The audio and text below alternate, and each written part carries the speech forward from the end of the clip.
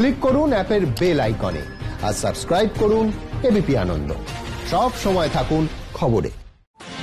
নমস্কার, দেখছেন এবিপি আনন্দ? আপনাদের সঙ্গে রয়েছি আমি মাধুরী। শুরুতেই চোখ রাখছে খবরে প্রয়াত অভিনেতা তাপস পাল। হৃদরোগে আক্রান্ত হয়ে মুম্বাইয়ের একটি বেসরকারি হাসপাতালে মৃত্যু। বয়স হয়েছিল একষট্টি বছর। রাতেই মুম্বাই থেকে কলকাতায় নিয়ে আসা হয় তাপস পালের মরদেহ। রাতে তাপস পালের গলফ ক্লাব রোডের বাড়িতে রাখা ছিল মরদেহ। শেষ শ্রদ্ধা জানাতে সকাল এগারোটা থেকে একটা পর্যন্ত মরদেহ থাকবে রবীন্দ্র সদনে। তারপরে কেওড়াতলা শ্মশানে শেষকৃত্য। পরিবার সূত্রে খবর, দীর্ঘদিন ধরে স্নায়ুরোগে ভুগছিলেন অভিনেতা। কথা বলা ও চলাফেরায় সমস্যা ছিল। পয়লা ফেব্রুয়ারি বান্দ্রার হাসপাতালে ভর্তি হওয়ার পর থেকেই তিনি ভেন্টিলেশনে ছিলেন। ছয়ই ফেব্রুয়ারি ভেন্টিলেশন থেকে তাকে বের করা হয়।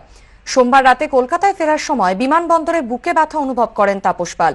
হাসপাতালে ভর্তি করার পর রাত তিনটে পঁয়ত্রিশ মিনিটে তার মৃত্যু হয়।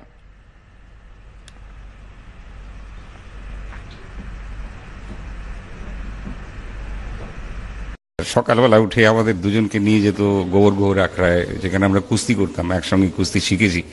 এক মাস আমাদের ট্রেনিং হয়েছিল কুস্তির ওপরে। তারপর ওখানে গিয়ে পুরুলিয়াতে যেখানে শুটিং হয়, সেখানে আখড়াতে আমাদের যিনি বিশ্বনাথ বাবু ছিলেন যে বারবার বলতেন, আপনার প্র্যাকটিস করুন প্র্যাকটিস করুন। তারপর রেগে যেতেন। আরে শুটি শটের সময় যেটা হবে সেটা দেবো। এখন এত এই করব কেন? এই করে প্র্যাকটিস করতে আরেকদিন হাটে চোটও লেগে গেল। হ্যাঁ, সেইগুলো বেশি করে মনে পড়ছে। এক মাস পুরো টানা পুরুলিয়াতে ছিলাম তো। মানে কীভাবে লাগছে? ভোরবেলা থেকে খবরটা পেয়ে অবস্থায় আমি আর মানে আর ক্ষতি হয়ে গেল। এত বড় একজন অভিনেতা ছিল। আর আর্টিস্ট ফোরামের ফাউন্ডার মেম্বার ছিল। মানে প্রথম মিটিং যেটা হয়েছিল প্রসেনজিৎ চট্টোপাধ্যায়ের বাড়িতে, যেখানে প্রসেনজিৎ চট্টোপাধ্যায়, তাপস পাল, বিপ্লব চ্যাটার্জি, অভিষেক চ্যাটার্জি, আমি, এই পাঁচজন ছিলাম।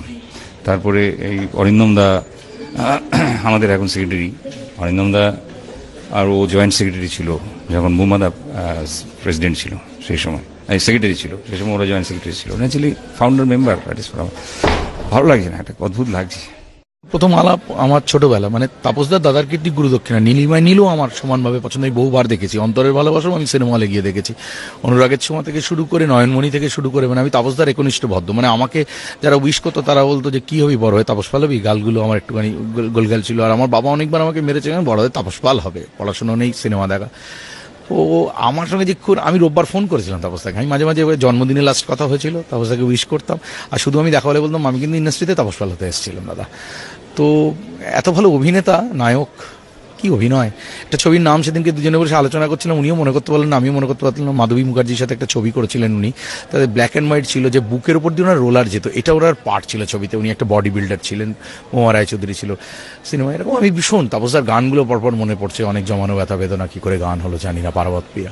আমি সব সিনেমা বহুবার বহুবার, তার অধিকাংশ ছবি আমি দেখেছি, বিরাট বড় ক্ষতি তাপসার মতো নায়ক, অভিনেতা খুব কম বাংলা ইন্ডাস্ট্রিতে আর ওরকম ভুবন ভোলানো হাসি। আমাদের যখন প্রথম একটা যোগ বিয়োগ বলে একটা ছবি, সেই ছবি করার সূত্র ধরে ওর সঙ্গে বন্ধুত্বটা হয়।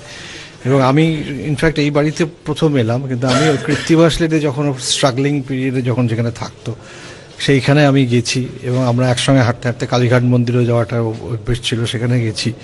পরবর্তী সময় আমরা মান মর্যাদা বলে একটা ছবি করেছি, সেখানে পুরো পিকনিকের মতো।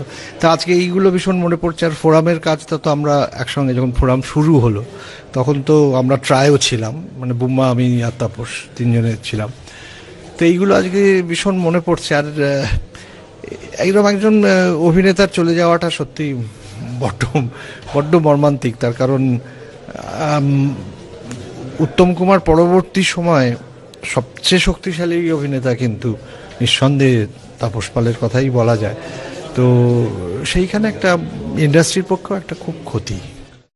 আমি যখন প্রথমবার পরিচালক হব, আমি তাপসদার বাড়িতে আসি, মুদালির বাড়িতে। এবং আমি যখন প্রথম প্রোডাকশন এবং ডিরেকশন দিই টেলিভিশনে তখন বলে যে আমি টেলিভিশনের জন্য তৈরি না কিন্তু তুই করছিস বলে আমি করব। সিরিয়ালের নাম ছিল দায়বদ্ধ। চূর্ণি ছিলেন, আমার হিরো ছিলেন তাপসদা তারপরে প্রথম ইলেকশনে দাঁড়ালেন তাপসদা সেবার তাপসদার সাথে দু সাল প্রত্যেকটা বাড়ি আমি ঘুরেছি। সিনিয়র বলুন, দাদা বলুন, গুরু বলুন, অনেক কন্ট্রিবিউশন আছে ওনার। তারপরে একটা সময় পরে আমি বম্বে শিফট করে যাই। তারপরে দোলনা মানে সোহিনী আসে বম্বে। আবার দেখা হয়, আবার বাড়ি খোঁজা একসাথে। একটা লম্বা পথ চলা আর কি। This is no age to go it's unfortunate একষট্টি বছর বয়সে